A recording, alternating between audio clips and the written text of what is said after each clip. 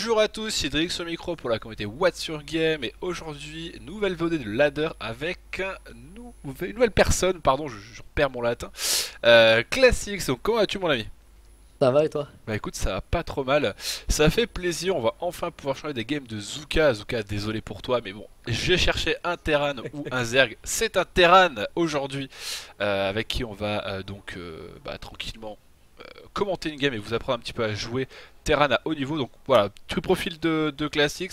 Euh, donc Master euh, sur HOTS euh, dernièrement. Et pour l'instant sur LOTV, pas encore classé, mais ça fait quelques games. Mais bon, ça devrait pas tarder, je pense, à, à drop Diamant Master. Donc t'as as quelques petites games en Protoss ou en Zerg, je sais plus.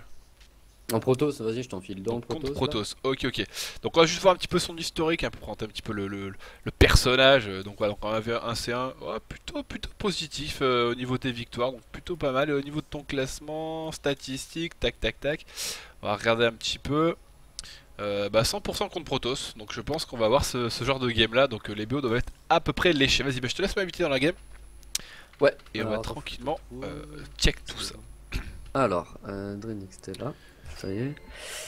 Accepté. Alors, euh, bon, c'est. Euh, ouais, c'est. Alors, je vais te faire commencer par le master. Enfin, un master. Je crois que le mec, il était mid ou top master, je sais plus trop exactement. Alors, juste. Bah, ce qu'on va faire. Ah, euh, bah, tant pis. On verra après. Si vraiment vous voulez voir, donc Jésus. Ouais, si, bah, master. Il a le cadre, comme ça c'est encore plus simple. J'allais dire, si vraiment on voit pas le cadre, comme là. Euh... Classics fait des games en ranked et sur son. Euh, non, ça c'est le compte de mon pote.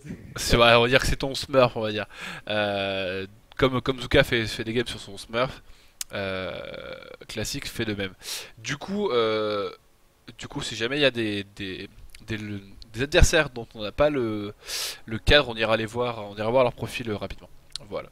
Alors, je vais juste mettre bah, là. Tu, tu verras, généralement, je te mettrai que des masters, surtout en TVZ, j'en ai pas mal. Ouais. en TVP, généralement, c'est des mecs en ranked. Alors, soit ça all-in en TVP, euh, bizarrement. Soit euh, quand ça part macro, ça va. C'est pas trop mal. Terran. En x2 ou en x normal euh, Fois normal, normal pour l'instant. pour l'instant, en normal, je vais juste me mettre dans ta vision pour vraiment vraiment voir ça. Euh, alors, je pense que je vais me mettre la caméra sinon ça va être juste à vomir. ouais, parce que t'as.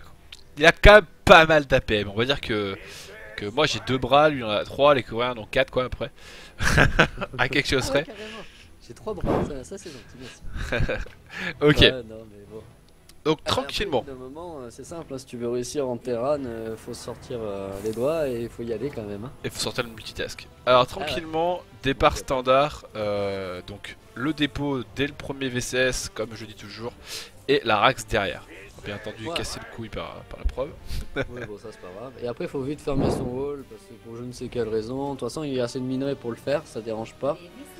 Et comme ça, ça évite que bah, si la probe arrive un peu plus tard, parce que là, mon adversaire l'a envoyé assez rapidement, mais s'il me l'envoie un peu plus tard, au moins il vient pas scouter, il sait pas sur quoi je pars, ça va le forcer à partir un peu plus safe. Et du coup, bah, c'est bénéf. Bon, là, il scoute.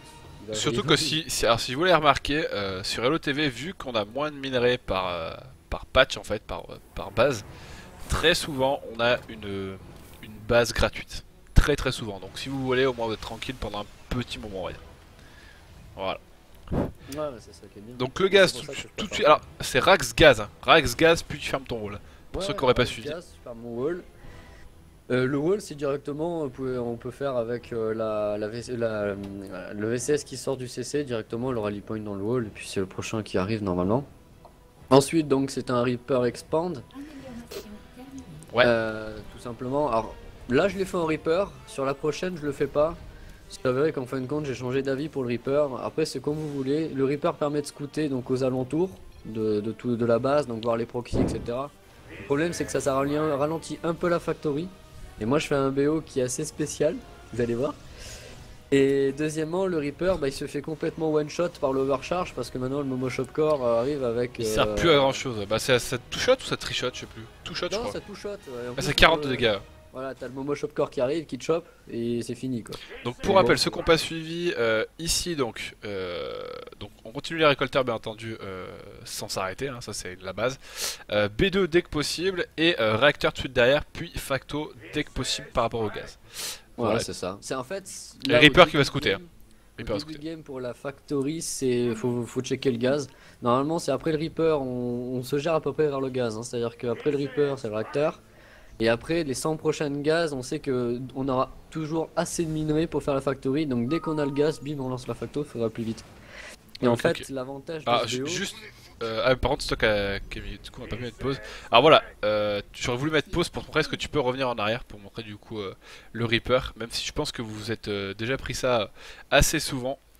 C'est dommage que tu m'aies pas donné le. Voilà, donc vas-y, remets lecture. Attends, j'ai un problème de. Voilà, donc le Reaper, voilà. Au revoir, merci. Ciao, bon dimanche. ça fait 32 dégâts, donc ça touche pile poil un Reaper. Voilà, donc bon, ça, c'est voilà, c'est à peu près abusé. bon, on s'en fiche. Alors pendant que j'ai un problème de. Bon, après, c'est très simple. Là, le, euh, le BO, il est pas compliqué. Une fois que la, la rack, ça finit le réacteur, le spatio, la, la factory sera finie aussi. Ah, on l'a pas souligné, mais il y a une B3 très très rapide. Très très Ah rapide. Je- je- on l'a pas dit, mais B3 très rapide. Dès que la facto est posée, en fait, vous posez votre B3 chez vous directement. Euh, on va la pour. euh, pour qu'ils puissent voir à quel pour- moment exactement. Ouais, voilà. vas-y, vas-y. Normalement, en fait, pour ceux qui, qui ont joué sur HOTS, c'est le, B- le triple CC version euh, Zerg. C'est-à-dire que c'est on Rax Expand, euh, non, Reaper Expand. Et dès que la factory est posée, il y a assez pour faire un troisième CC. Bah là, c'est pareil. C'est-à-dire que la factory est posée, le spatio, la Rax n'a toujours pas, a pratiquement pas fini. Vous lancez votre B3 normalement, ou alors moi je lance les deux premiers Marines, voilà. En gros, dès que B3. possible, sinon c'est autour des 2 minutes 50 et 22-23 de pop. Voilà, pour, euh, pour les repères, pour ceux qui. Soit, comme vous voulez, en général, soit on se repère à la pop, c'est ce qui est mieux.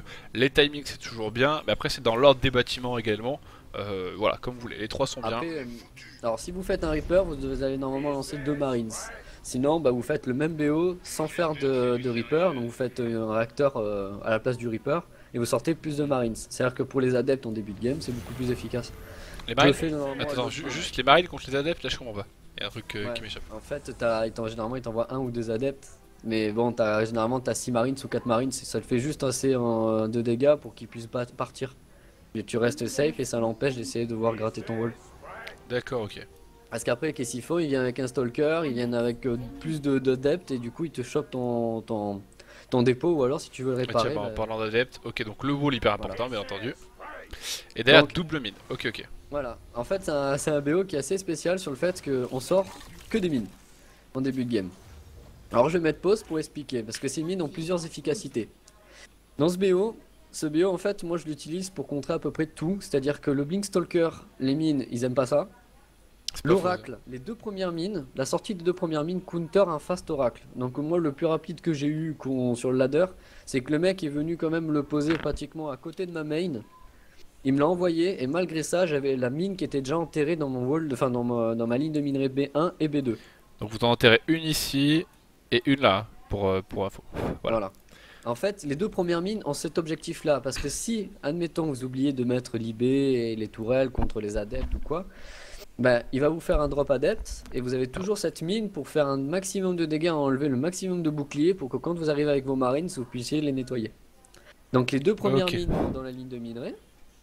Les deux prochaines vont, alors elles ont une petite efficacité aussi, c'est que les deux prochaines vont aller une sur le slot de B3 ennemi et sur le slot de B4. C'est-à-dire qu'en fait, ça va nous servir de marqueur. de Ici savoir s'il prend les bases ou pas. et ici pour cette map là. Ou euh... Non, pour toutes les maps. Non mais je monte les B3, B4 en fait. Ah, Simplement. C'est vrai qu'il ne voit pas mon écran, c'est un peu compliqué.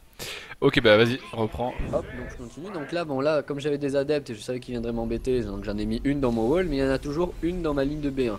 Parce que c'est là où je mine le plus en fait. Donc je veux pas perdre toute cette ligne de minerai sur un oracle perdu ou un oracle parce que j'ai pratiquement pas scouté. Dû à la perte de mon, de mon Reaper. Donc je préfère faire ça pour rester safe. Ok, et tout de suite derrière, donc double IB. Et alors par contre, on n'a pas dû donner une info. C'est à quel moment tu prenais ton deuxième gaz. Alors soit je l'ai pas retenu, soit je l'ai pas, soit je l'ai pas entendu, je sais pas. Mais je crois pas qu'on deuxième gaz, en fait, tu l'envoies, euh, tu l'envoies quand tu commences à créer tes mines. Quand ta factory est finie, tu envoies ton deuxième gaz et en fait, tu vas lancer aussi ton, ton Steam sur ta, ta Rax. Ah oui, c'est au moment du Steam. Non bah c'est bon, en fait on, on en a parlé, on en a parlé je crois. Voilà. Ok, donc transition on a dit double euh, engineering B et double gaz bien entendu pour pouvoir payer les, les upgrades. Voilà, exactement. C'est simple. À chaque fois que vous faites un double IB, instantanément, vous lancez double Rax, enfin double gaz parce que dans tous les cas, Sinon, Euh, vous aurez bah, jamais assez d'Algériens. C'est ça. Donc Alger. le B3. Alors en fait, le but de ce build, c'est pas d'être agressif. C'est surtout d'encaisser donc toutes les agressions et de permettre de poser B3 très rapidement et de lancer son 1-1 assez rapidement. Donc les mines sont des mines défensives ou des mines de scout comme je vais, je vais faire pour poser sur la B3 et sur la B4.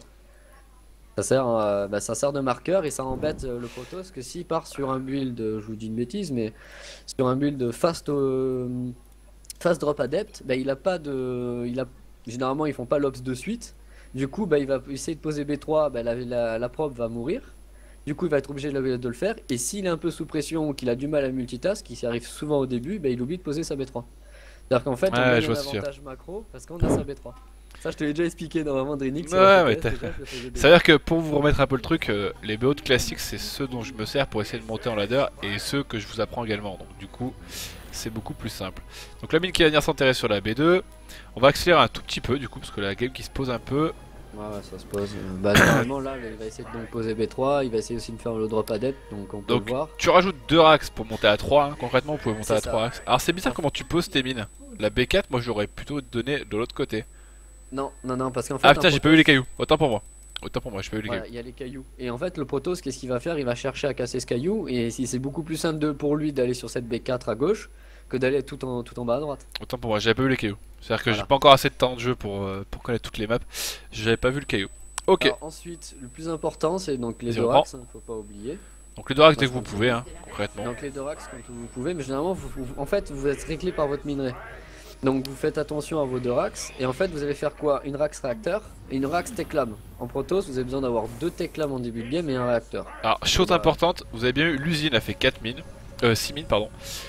Elle a fait un réacteur ici et un autre réacteur là. Et en fait, ce deuxième réacteur qu'elle est en train de faire va me servir pour mon spatioport. On gagne du temps sur les add-ons. Donc là, vous regardez, vous avez votre 1-1, donc qui est à moitié. Normalement, pour vous donner une idée, hein, ça c'est pour ça marche pour tout le temps. Quand votre 1-1 est à moitié, vous lancez votre armurerie et vous perdrez pas de temps pour lancer votre 2-2 derrière. Donc là, je vais pas le faire parce que je suis sous pression. Donc mon 1-1, il va être, mon 2-2 va être un peu plus tardif, mais généralement il se finit vers l'ordre de à peu près 10 minutes, 11 minutes. Et votre 3-3 se finira entre 14, enfin 12-30 et 14 maximum. Donc ça c'est un BO très macro. Si vous arrivez à garder cet avantage et rester, à rester safe, vous avez, euh, vous avez l'avantage upgrade, population, vous avez tout. Donc, dès que vous êtes à 16, à peu près 16-16 sur les deux bases, on pose bien entendu la B3. Voilà, il faut qu'elle soit à peu près saturée. Donc là, bah, donc mon armurerie qui est un peu late, qui ralentit mon 1-1, enfin mon 2-2 plutôt. Après, tu te fais harass, hein, je veux dire, t'as- perdu déjà 8 ouvriers. Oui, mais c'est rien parce que je suis en triple CC. Mais vous voyez, alors juste, vous voyez la mine ici, qui a fait son petit kill, qui a tué le. qui a tué le. Pardon, le. Je vais y arriver. Merde, le prisme. Le 2-2 qui est lancé, donc voilà, tout est, tout est euh, important dans ce BO. Est-ce que t'as lancé Oui, euh, le. Est-ce que t'as lancé, t'as lancé, t'as lancé. Ouais, c'est bon. Donc, on l'a pas dit, mais dès que les doubles laboratoires techniques sont terminés ici, enfin dès que le laboratoire technique est terminé, vous lancez du coup le shield des marines et bien entendu euh, l'obus incapacitant hein, contre Protoss obligatoire. Oubliez pas parce que c'est vraiment important. Donc en fait, euh, le build, on l'explique à peu près euh, de différentes manières. L'ordre est très simple, hein, c'est un ordre euh, pour prenez n'importe quel BO à peu près sur, euh, sur HOTS. Les ordres restent les mêmes, les, bases macro restent les mêmes. Donc euh, s'il utilisait quelques BO à moi avant, vous devrez les retrouver. Regardez, je fais exactement les mêmes, surtout en proto, je pense qu'il prenait un moment. C'est la même chose, c'est le, BO que j'utilise également. Ah, par contre, moi je suis switch euh, euh, random pour essayer de vous d'aider un plus grand nombre de- d'entre vous. Du coup, c'est un peu compliqué pour moi euh, pour, euh, pour intégrer tout ça avec, la, avec LOTV et les nouvelles unités. J'ai encore du mal contre les lurkers par exemple. J'ai encore du mal, j'ai pas encore le contre parfait. Mais, bon, on verra ça éventuellement dans une autre VOD contre Zerg. Voilà, mais du coup, en fin de compte, la, la macro reste la même, c'est-à-dire vous lancez votre shield, votre obus incapacitant, votre steam assez rapidement. Vous lancez votre 2-2 quand vous pouvez, après ça reste la macro standard en Terran. Le truc à ne pas oublier, ou du moins qui peut vous- vraiment vous aider, c'est lancer le 1 de défense mecha. Alors pourquoi? Parce qu'en fin de compte, vos mines sont plus résistantes, donc elles tankent plus longtemps, donc les unités focus plus longtemps ces unités-là. Attends, juste pour la fight. Ok, bon, tac. Donc tu poses deux gaz. euh, une fois que tu- euh, dès, Oui, enfin, dès que la B2 est saturée, donc pas oublier bien sûr les dépôts, hein, je le dis pas, mais les dépôts en continu, hein, au moins deux VCS euh, Euh, pour des dépôts en continu. Après, à partir de 100, vous en mettez 3 par 3, vous avez assez, puis vous avez l'income, etc. À partir de 100 de population? Ah, à partir de 100 population. Mais moi, des fois, j'abuse, j'en mets 4 par 4 parce que je, bah, au bout d'un moment, euh, bah, j'y pense même plus, quoi. Parce Il y a sont trop de 4 minerais, par quoi. 4. Il y a beaucoup de minerais, et puis les mules, c'est très fort, donc. euh, Donc enfin, une double gaz. compte, Et pour l'instant, pas, pas d'autres euh, pas d'autres euh, bâtiments Ah. rajoutés. hein.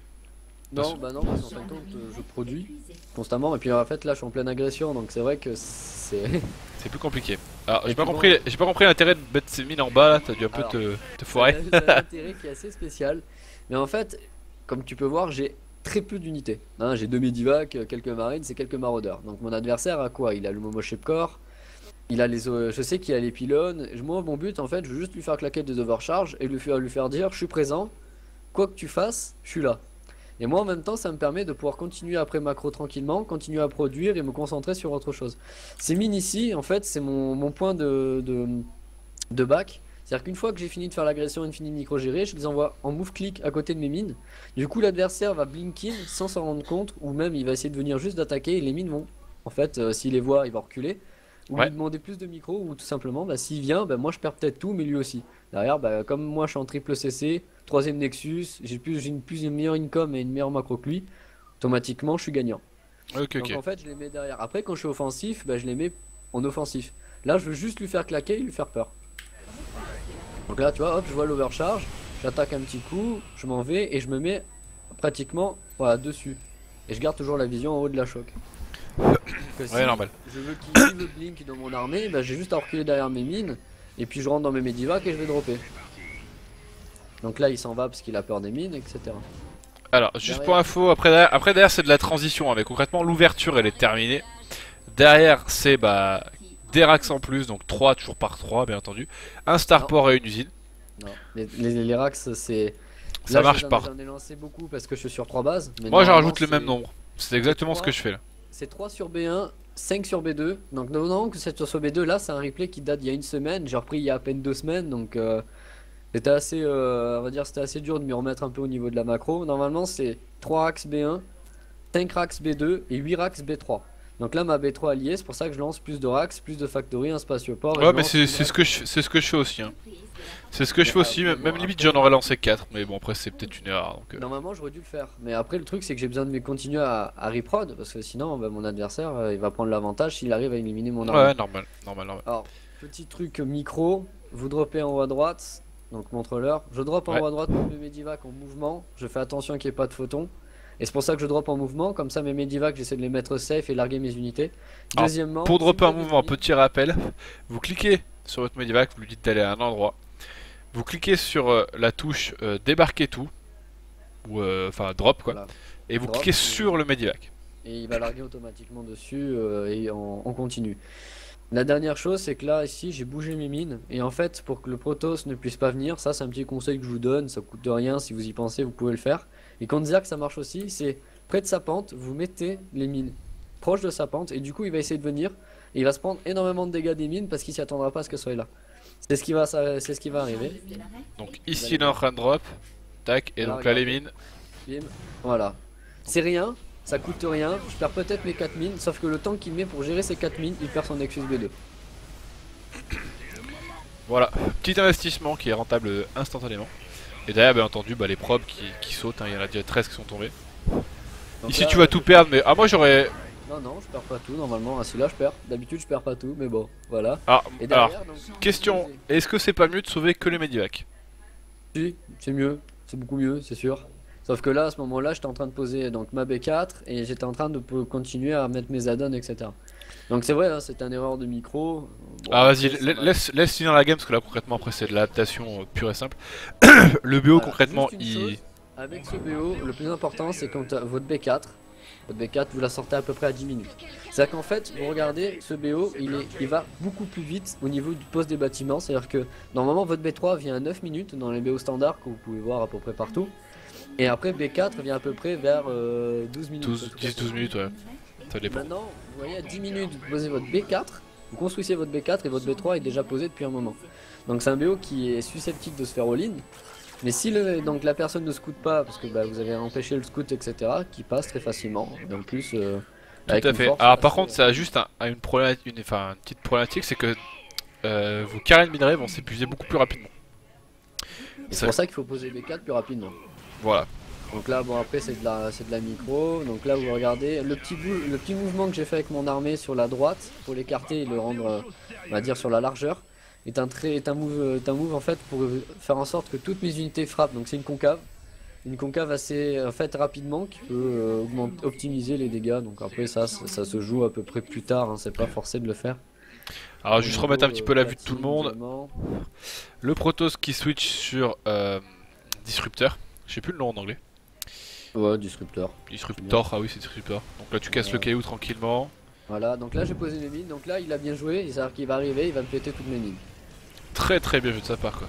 Surtout que, sachant qu'avec le nouveau Disruptor, je sais pas si vous le connaissez, là le Disruptor vient juste d'envoyer donc son sa Nova, je sais pas quoi, et il peut en renvoyer une derrière sans problème quoi. Alors après bon il y a plusieurs il y a plusieurs façons de jouer contre Protoss. Moi j'aime bien jouer le Protoss en double front à chaque fois, c'est-à-dire que je le drop d'un côté, donc je le force à diviser son armée, et de l'autre côté j'ai une plus grande de mon armée qui va arriver et qui va se donner un gros coup. Donc ici. Vous pouvez le faire surtout si vous êtes, vous savez que vous êtes en position de force, comme vous pouvez regarder la pop, je suis à 147 de pop à 101. Je suis 2-2, mon 3-3 qui est déjà lancé, qui est bientôt terminé, donc à peu près vers les 12 minutes, comme je, vais, comme je vous ai dit. Donc mais ce qu'on a dit, hein, toujours euh, les upgrades lancés derrière, et puis le 1 de défense des vaisseaux, enfin de tout en fait, parce que l'armurerie nous peut- vous permet de mettre 1 de défense à tous vos véhicules, que ce soit aérien ou terrestre, Voilà. donc c'est toujours bien. Du coup, ce qui est, c'est assez intéressant, c'est que les Medivacs vivent plus longtemps. Donc là, je drop, etc. Donc je l'attaque. J'essaie de jouer avec la map. Après, bon, ça, vous découvrirez au fur et à mesure. hein. Vous micro-gérez, vous faites. Après, ça viendra. Pour ceux qui ont le plus haut niveau, bah, ils comprennent. Pour ceux qui vont, qui commencent en platine, gold. bah, Euh, alors un peu pour les autres concrètement, je pense que vu ce qu'il y a en face, t'auras même pu bourrer direct. Avec 100 de pop d'avance quasiment, enfin 90 Oui. de pop d'avance. euh. Là, c'est juste que mon adversaire, donc c'est un master. Il sait micro-gérer. Je sais micro-gérer aussi. Donc c'est plus compliqué de faire des hat clics. Vous voyez, donc j'essaie de rentrer euh, par force. Et ben, les disrupteurs, ça fait assez mal. ça Et fait pas mal ouais. Et derrière, par contre, qu'est-ce que j'ai fait? Ben, J'ai réussi à choper une armurerie, enfin une, pardon, une armurerie, une Ici, a tout qui est tombé quasiment. Je peux pas lancer upgrades assez rapidement. Ah, laisse- Vas-y Euh, laisse la gamme se terminer, vas-y. ah. Parce qu'il y en a encore une derrière à voir après. Voilà. Après, bon, B4 qui est posé en bas à droite. Voilà. Après, bon, euh, macro standard, je, je me suis après à la fin. Généralement, quand je sais que j'ai gagné ou que du moins j'ai un gros avantage, je me relâche un peu. Surtout sur mes premières semaines de, de train. Et du coup il perd. non. Je m'en fiche parce que je suis devant. Donc après oubliez pas toujours de produire en continu, hein, bien entendu. Les rally points. Ah où est-ce que tu mets ton rally point tu vois Alors, Par moi, là. euh, généralement, en fait, je suis, je suis un gros joueur F2. Alors, on dirait pas comme ça, mais le F2, ça, peut- ça, ça a des gros avantages aussi. Donc Ça bon, te permet de rattraper toutes tes unités. Hein. Voilà, c'est ça. Donc du coup, toutes mes unités offensives, quand je sais que je suis devant, bah, ça me permet de toutes les avoir. Et là, vous voyez, en fin de compte, ça fait un flux constant d'unités qui peut pas contrôler. En plus, vous les mines, vous, si vous voulez, vous pouvez laisser les endroits où vous étiez, etc. Du coup, bah voilà, ça fait GG. Et GG. Donc, voilà, donc petite, euh, petite adaptation simple de. Alors je de d'overlay, tiens. Euh, petite adaptation simple donc de. De. Euh, comment appelle ça? Euh, Du beau. Merde Où j'ai cliqué là? Triple CC. Ah non, ça va. Du triple CC. Donc on, on va le revoir éventuellement avec une autre. une autre. euh, une autre game si tu as, si j'ai bien compris. Ouais, ouais, j'en ai une, mais faut juste que je la retrouve parce que j'ai dû redescendre dans toute la liste. Alors là, faut que je remonte deux secondes.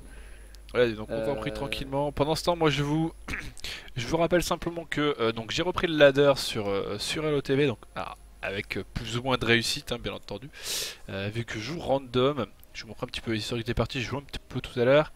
Oh, je suis avec 5 victoires d'affilée. Je, suis- je suis pas trop mal en fait. On va voir mes stats ensemble parce que je les ai même pas regardé. Donc je suis à 57% de victoire en Terran, donc je maîtrise quasiment. Enfin, on voit que c'est beaucoup mieux que les autres. Et en Protoss, 40%, 45% en Zerg. J'ai fait aucun ZVT. D'accord. Euh, sinon, ouais, c'est 50, euh, 70, euh, 50, euh, 40, pardon. Ah tiens, j'en ai fait une il y a 3 Voilà. heures. J'en ai fait une il y a 3 heures contre un top diamant. Vas-y, en fait, lance, lance, lance. Mec, il est top diamant, mais non. En fait, c'est un- c'est Lance, lance, lance avant que, je- que nous ayons un commentaire de la vidéo est trop longue. je fais ce que je d'accord. peux, mes amis, mais les BO sont compliqués un petit peu sur la LOTV, donc on, on Ouais, en plus que, euh, généralement c'est de la pure adaptation qu'il faut faire maintenant, c'est assez compliqué. Euh, J'espère que c'est ça là. Ouais, c'est ça là, super, je l'ai. Alors elle a duré 10 minutes 52. Alors euh, des fois ça m'arrive de troll un peu sur le ladder. Alors, passe-moi haute, par contre. C'est ce que je comptais faire. Promouvoir au du salon, voilà. Donc des fois j'aime bien écrire des petits messages à mes adversaires, sachant que des fois j'aime je sais qu'ils veulent partir all-in. Du coup, comme j'essaie de les, les- les- les an- les anticiper, donc mettre des défenses plus rapidement et de, de faire des tas de choses, bah des fois comme je sais qu'ils veulent all-in, bah, je suis méchant et j'envoie un petit message du genre euh, bah, il va tu vas perdre. Puis après je le double tu vas et- perdre. Alors, on va accélérer un tout petit peu la game, vu que euh, concrètement c'est la même chose. Oui, c'est le même. Donc on le rappelle, juste repérer le BO en rapide. Donc le dépôt bien sûr à 14, l'Arax à, euh, à 16, normalement 15 ou 16 je sais plus. C'est 15 ou à 16 À 16. Dépôt 14, Rax 16 et gaz dans la foulée. Gaz 16, c'est pas compliqué, gaz on 16. dirait que c'est un peu du. C'est dépôt 14, rack 16, gaz 16. C'est. Bah, en fait, c'est Overlord 14, euh, Pool Ouais. 16, Gaz 16, c'est pareil. Derrière, on, on wall dès que, dès que c'est bon, donc comme ça il peut pas se coûter. La raison pour laquelle euh, on wall. Et du coup, il sait pas quelle strat vous faites en fait. C'est ça qui est intéressant, c'est que l'adversaire est complètement dans le noir. Et du coup, ça lui fait peur. Donc, du coup, ça va le forcer à faire deux choses. Soit il va jouer plus défensif, soit il va jouer très offensif. Et comme c'est un Protoss, généralement, ça joue plus offensif que défensif. C'est pas faux. Donc là, t'as squeeze le Reaper parce que du coup la, la probe est pas rentrée. Voilà. P2 Non, dès que voilà. possible, et bien entendu, euh, station orbitale. C'est ce que je disais tout à l'heure, donc là maintenant je fais plus de Reaper pour la simple raison que bah, je me fais tellement euh, overcharge avec le Reaper que ça sert même plus à rien, on peut même plus scouter. Du coup je préfère sortir plus de Marines. Et en fait l'avantage c'est que bah, si on fait, euh, fait une agression un peu plus, un peu plus rapide mais pas trop, bah, ce- Marines, ces Marines là sont présents. Alors, ce, ce VSS là, très important. Ça vous permet en fait de scouter tous les proxys éventuels. Vu qu'en fait, comme il a pas pu scout avec un Reaper, un Protoss, ce qu'il faut savoir, c'est est-ce qu'on va se faire all-in ou est-ce qu'on va avoir un proxy. Pour le all-in, concrètement, il va avoir ce qu'il faut avec les mines. Alors que pour les proxys, bah, si on les scoute pas, on sait pas qui sont là. Donc concrètement, ce VCS là va nous permettre de scouter les euh, proxys et donc de s'adapter éventuellement. Voilà en gros le, le principe de VCS. Après là je vous dis que vous avez de la chance parce que c'est rare que j'envoie ce, ce VCS, mais là je me Bah, suis parfait. envie de le faire. C'est parfait, je le dis, comme ça vous allez le faire vous mes amis viewers. Ouais, C'est que rare que je- franchement c'est rare que je scoute, c'est- c'est vraiment rare. J'arrive pas. De toute façon tout est tellement changé, il y a même pas de méta donc les gens font un peu euh, un peu ce qu'ils veulent. Faut un peu ce qu'ils veulent. Alors, bien entendu, B3 tout de suite derrière. Alors là, on essaie de, poursuivre le Stalker.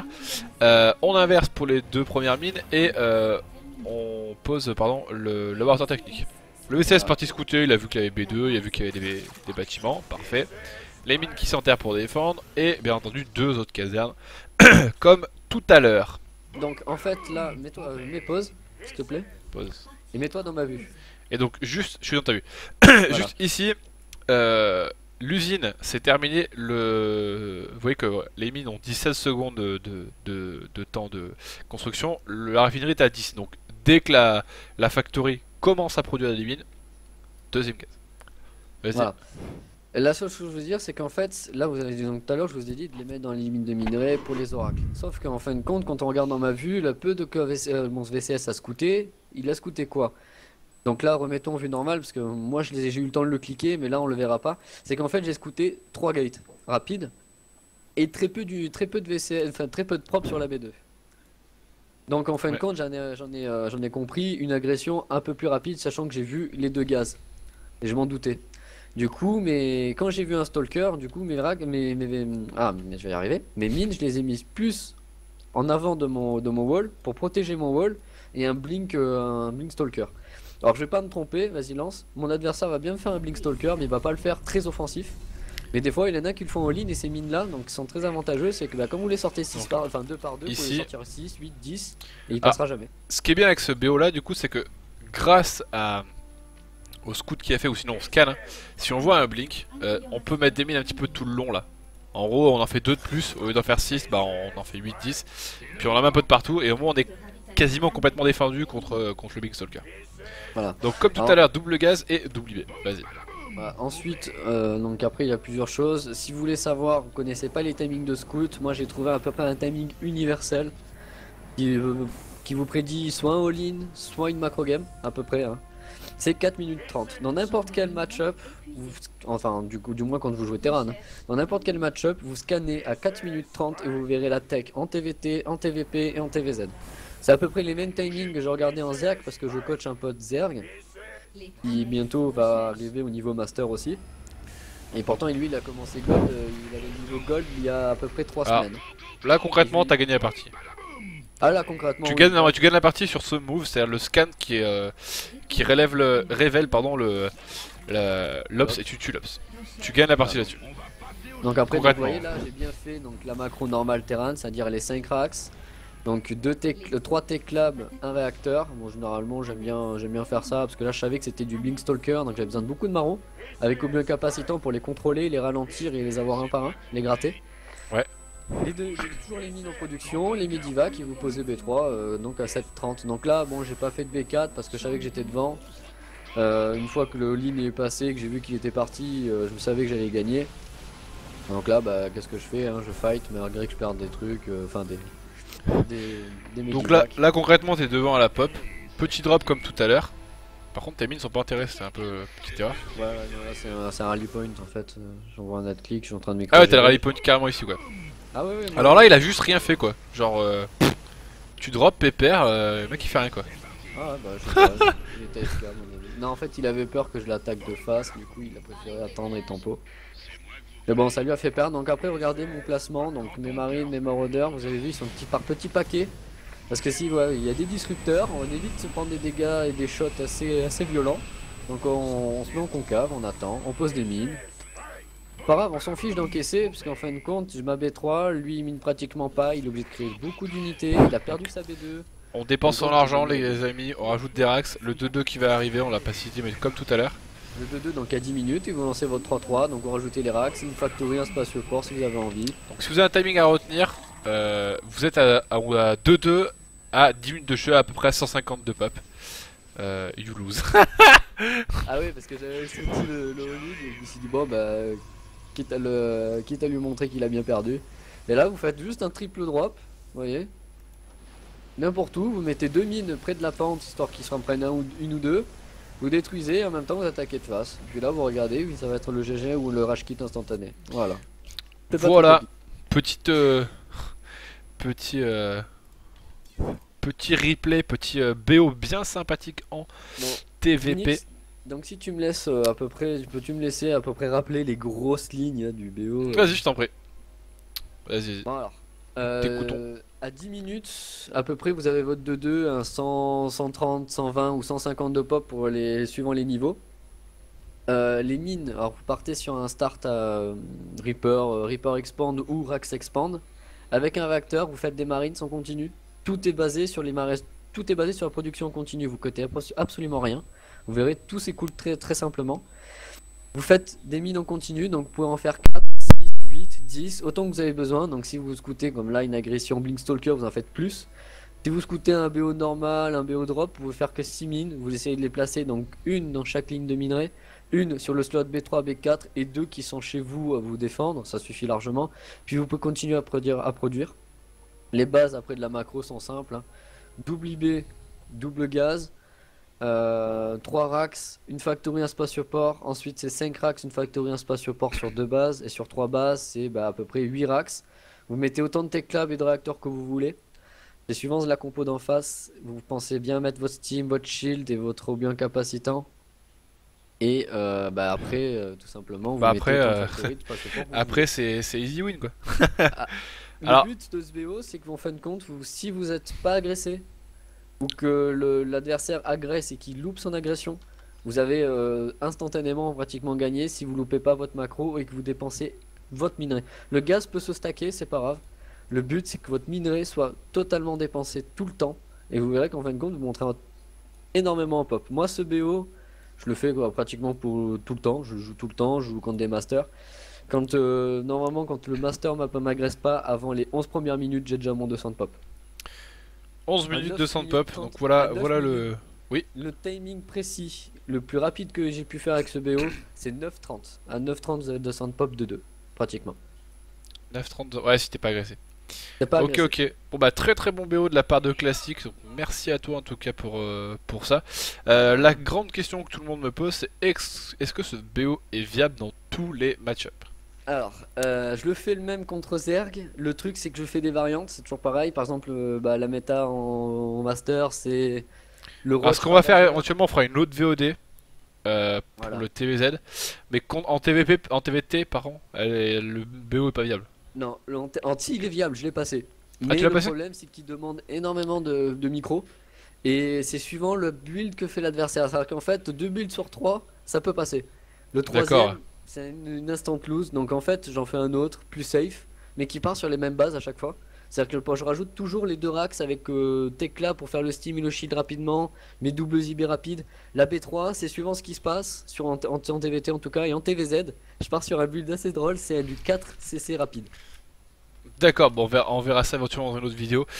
sur ce, euh, moi je vous rappelle que vous pouvez toujours nous suivre sur les réseaux sociaux, ça fait toujours plaisir. Euh, et puis bah écoutez, on va s'arrêter là et on va redémarrer éventuellement une autre VOD pour les ergs. Ce sera la semaine prochaine. Salut, à bientôt, ciao, bye bye. Tous